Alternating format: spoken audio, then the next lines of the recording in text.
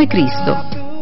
Cristo e l'esortazione di San Paolo ad essere ognuno secondo la propria vocazione, membra vive all'interno della Chiesa, sono al centro del messaggio che il nostro Vescovo rivolge ai cresimandi appena giunti a Roma. Durante la preghiera di benvenuto nella Basilica di Santa Maria Maggiore, Monsignor Luciano Monari augura ai ragazzi di Roma Express di poter vivere con gioia il cammino di ricerca che li condurrà all'incontro con Gesù Cristo e di poter trovare presto il loro posto all'interno della Chiesa, corpo vivo di Cristo. R come raduno in stazione. Venerdì 14 marzo, ore 21. Sul piazzale semideserto della stazione cominciano ad arrivare i primi gruppi di cresimandi in partenza per la tredicesima edizione di Roma Express. Provengono da tutta la diocesi di Brescia Ce lo raccontano gli enormi striscioni colorati che portano scritti i nomi dei loro paesi. Alcuni di loro sembrano un po' spaesati, forse si tratta della loro prima avventura lontani da casa. Oh, mamma. Allora,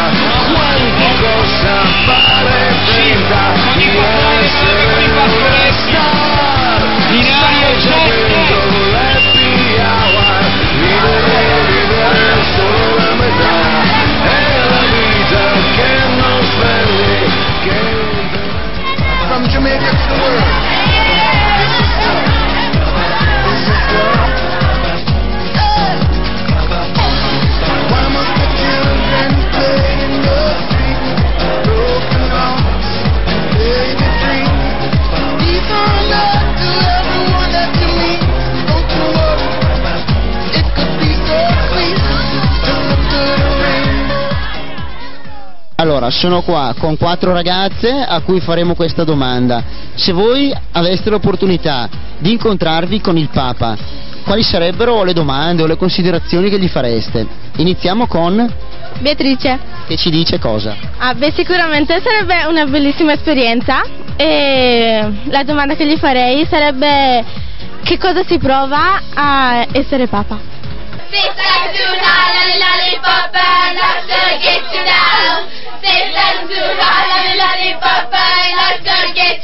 L'una e 25 e noi non si dorme per niente. Questo a prova del fatto che all'ufficio oratori e dappertutto noi non si dorme mai.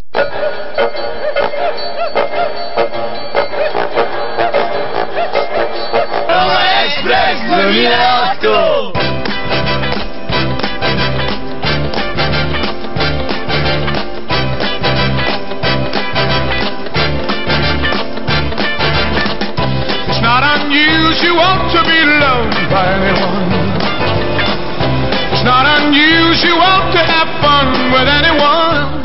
M come Monsignor Luciano Monari. Sabato 15 marzo, ore 6. La flebile luce dell'alba e il cartello Roma Tiburtina ci annunciano che stiamo per giungere a Roma.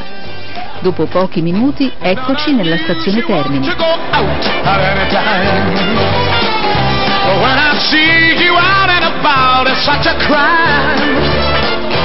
When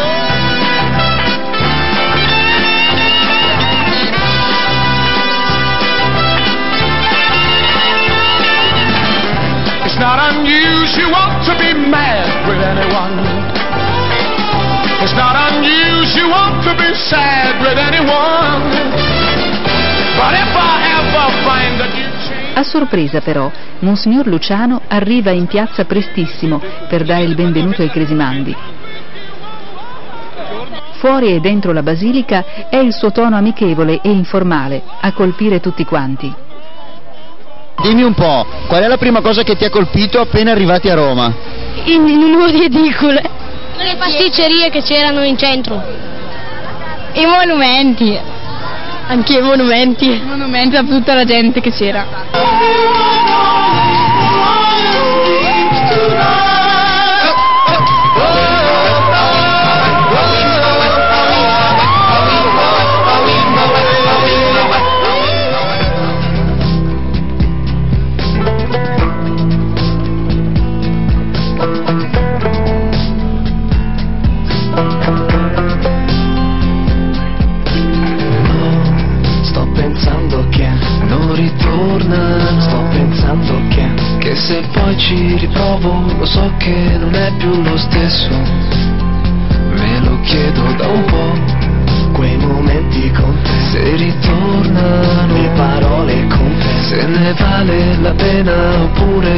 Più fortuna.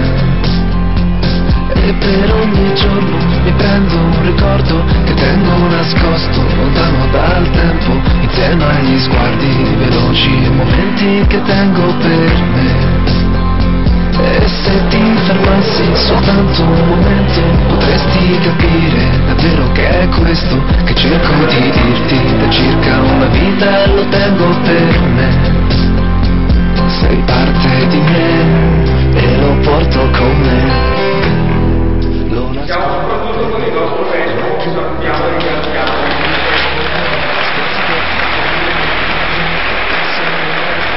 La prima domanda è se c'è stata un'emozione in particolare eh, nel vedere tutti i ragazzi in piazza e poi anche in Basilica. Beh, l'emozione è grande, un pochino perché sono affezionato a questa basilica e a questa piazza, perché io qui sono vissuto per quattro anni in pratica e rivederla piena di ragazzi entusiasti dopo un cammino abbastanza faticoso perché la notte in treno non è il massimo, eh, mi, mi, allarga il cuore, cioè mi mette dentro delle speranze e dei desideri grandi che vorrei che si realizzassero nella vita di questi ragazzi.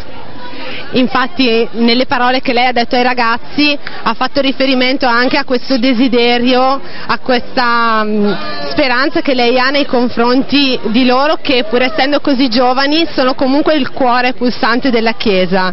Che cosa si sente di suggerire a loro, dandoci anche una piccola anticipazione della via che lei ha sentito da parte di San Paolo e che non ha detto oggi, però noi vorremmo un'anticipazione lo stesso. Qual è questa via che suggerirebbe ai ragazzi? Eh, quella che suggeriva San Paolo, quella del pensare la vita come un apprendistato dell'amore, quindi imparare a volere bene la propria vita, a volere bene la vita degli altri, a volere bene al mondo che ci sta intorno e tutto questo a volere bene a Dio con tutto il cuore, con tutta l'anima e con tutte le forze, perché quando riusciamo a volere bene a Dio in questo modo tutte le altre dimensioni del nostro amore vengono rese salde e robuste. Credo che la via sia quella perché è la via di ogni uomo, l'uomo è stato pensato per questo, è fatto in modo da non accontentarsi mai di quello che ha raggiunto, ma di impostare e immaginare la vita come un dono continuo, come un dare sempre di più e un aprire la propria vita ancora di più al mondo e alla realtà che ci circonda. E realizzare questo è un, eh, uno spettacolo straordinario nella vita di un uomo e io lo augurerei proprio a tutti i ragazzi. C'è secondo lei in questo mondo che se vogliamo è anche pieno di rumori che ci possono disturbare un modo concreto, soprattutto per i ragazzi giovani, di poter sentire la voce di Gesù e soprattutto di poter scoprire qual è il disegno che Gesù ha per loro?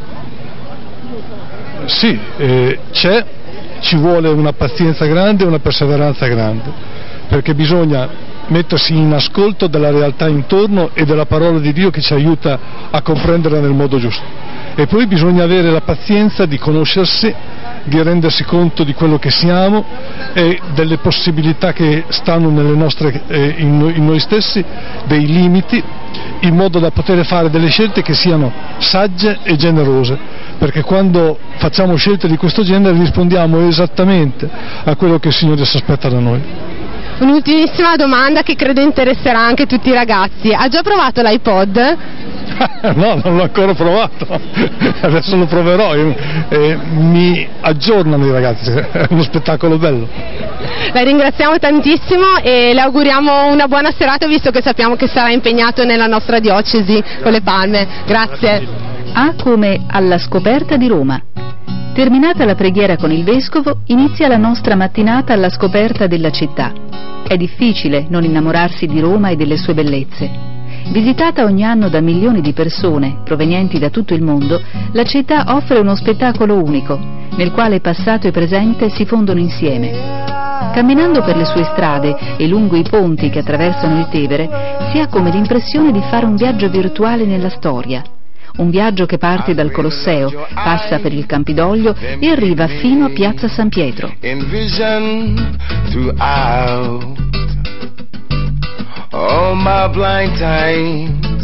E come entrata in Vaticano, ore 14.30.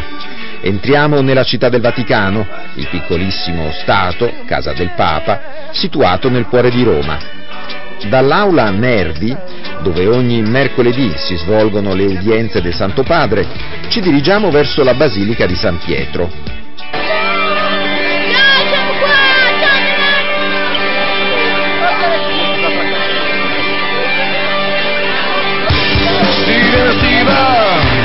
Comunque ballando, pensando una vita forse non basterà. Si va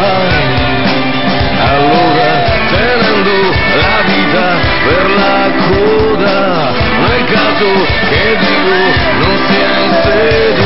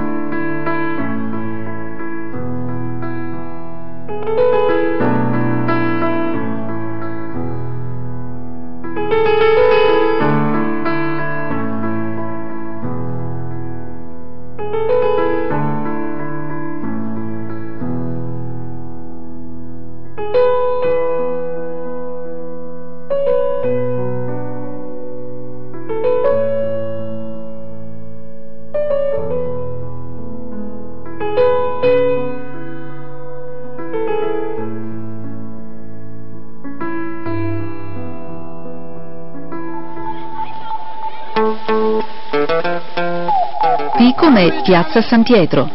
Costruita secondo precisi schemi architettonici, Piazza San Pietro possiede anche un suggestivo valore simbolico. Secondo alcuni critici di storia dell'arte, infatti, il colonnato del Bernini, che fa da cornice alla piazza, rappresenta il metaforico abbraccio della Chiesa al mondo. Ed è proprio questa piazza il punto di ritrovo dei circa 50 pullman che porteranno i cresimandi alle loro sistemazioni notturne. Gente che spera, cercando qualcosa di più. In fondo alla sera, alla sera, alla sera, alla sera. Noi, gente che passa e che va, cercando la felicità. Sopra sta terra, sta terra, sta terra, sta terra. Eh, cosa ti è piaciuto di più di Roma? Eh, San Pietro? Eh, se tu potessi avere una tasca abbastanza grande da poterci far stare dentro un monumento di Roma, cos'è che ti porteresti a casa? Colosseo? Colosseo? Sei sicuro? Va bene, dai. Cosa ti è piaciuto di più di Roma? È la fontana di Trevi. Allora, qual è la parte del discorso che ha fatto stamattina il vescovo che ti è piaciuta di più? Quando il vescovo ha spiegato che nel corpo di Cristo ogni persona è importante e che nessuna può essere presa da sola perché non è abbastanza completa, ma nessuna è inutile perché ognuno ha un po' più compito all'interno. Vorrei avere il becco per accontentarmi delle briciole. Concentrato e molto attento, sì, ma con la testa fra le nuvole. Capire i sentimenti quando nascono e quando muoiono. Perciò vorrei avere i sensi per sentire il pericolo. Se tutti quanti lo sanno, hanno paura che l'amore è un inganno. Oh, ce l'ha fatta mia nonna per 50 anni col mio nonno in campagna. Mi avvicino, vado da Silvia che non si aspetta assolutamente una domanda da parte nostra. La cosa più piacevole di tutta questa esperienza, visto che non è il primo anno che te ne occupi? È, è bello secondo me far vivere ai ragazzi questa emozione di essere a Roma, di, di essere insieme a tanti altri che fanno la stessa esperienza, uscire un po' dal proprio orticello, del, del- del proprio oratorio per, per vedere, per allargare l'orizzonte, mi sembra la cosa bella. R come Ratzinger. Domenica 16 marzo, ore 5 e 45. Sveglia all'alba, colazione e poi in pullman verso piazza San Pietro, dove assisteremo alla Santa Messa della Domenica delle Palme. Un saluto dal vostro Fabri, siamo qua e sono le 7 di mattina è il 16 del 3 dello 08, tra poco andremo ad assistere alla messa e all'Angelus del Papa, sarà un'esperienza sicuramente affascinante perché insomma la messa è la messa, però celebrata dal Papa è un'altra cosa.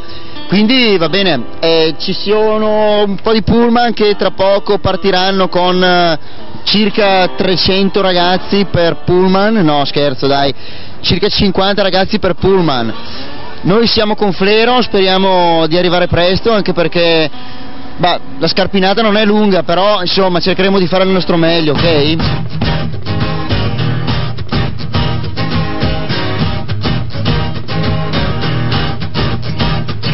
Sogno di mezza estate, beati o voi che entrate nel girone degli innamoramenti, e tradimenti. Forse è l'estate o forse è pazzia, ma so che stanotte ti porterò via. Alle 8 siamo già in fila davanti alle transenne che delimitano la piazza. La celebrazione inizia puntuale alle 9.30, preceduta da una lunga processione. Dal portone, posto alla fine del colonnato, escono in fila i fedeli e gli ecclesiastici che si dirigono verso l'obelisco situato al centro della piazza e in fondo al corteo c'è lui, Joseph Ratzinger, Sua Santità Benedetto XVI.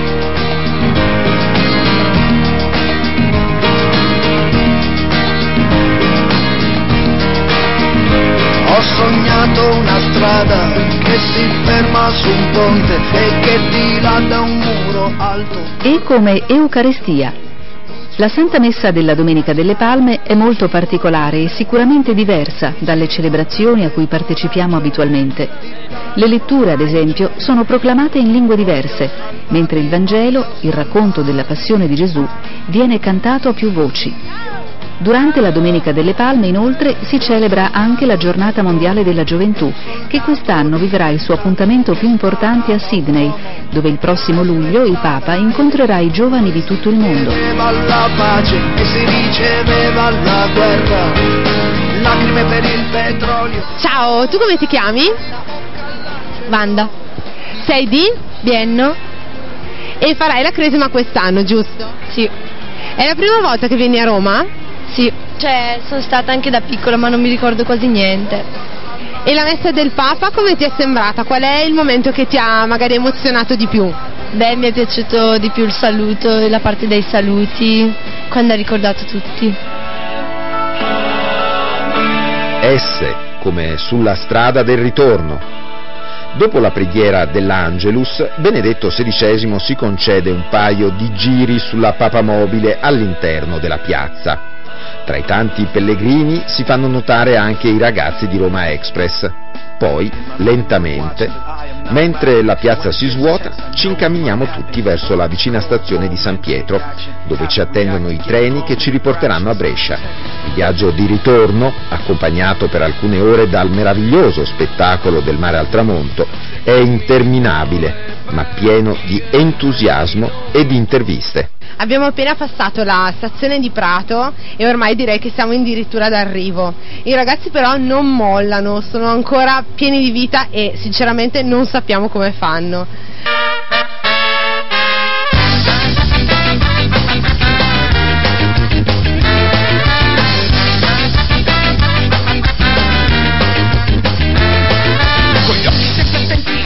Cosa ti lascerà questo viaggio? Quando tornerai a casa quale sarà la prima cosa che penserai? Sono venuta da, a Roma con eh, degli amici fantastici. Non saprei perché tutto il viaggio è piaciuto, ma se devo fare una classifica, il Colosseo è in primo posto. La Basilica Vaticana. Il Colosseo. Allora, che ho visto il Papa? Le esperienze che ho fatto in treno con le amiche. Il Papa. Un, è un'emozione indescrivibile. Ricordo da portare a casa il vescovo e anche e soprattutto il Papa. S come stanchi ma felici.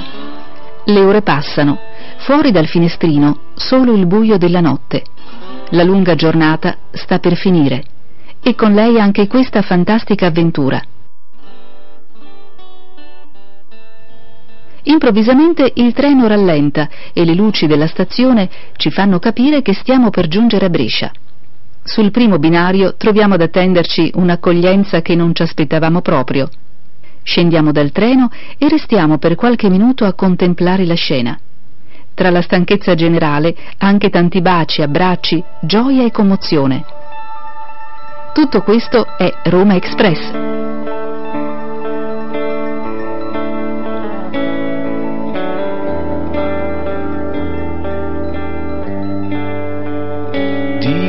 Canzone in canzone, di casello in stazione, abbiamo fatto giornata che era tutta da fare, la luna ci ha presi e ci ha messi a dormire o a cerchiare la bocca per stupirci o fumare, come se gli angeli fossero sì, è tutto possibile. Buonanotte all'Italia, deve un po' riposare, tanto a fare la guardia, c'è un bel pezzo di mare, c'è il muschio ingiallito dentro questo presepio che non viene cambiato e non viene smontato e zanzare e vampiri che la succhiano lì, se lo pompano in pancia un bel sangue così. Buonanotte all'Italia che si fa o si muore o si passa la notte a volerla comprare come se gli angeli fossero lì a dire che sì, è tutto possibile, come se i diavoli stessero un po' a dire di no, che sono tutte favole.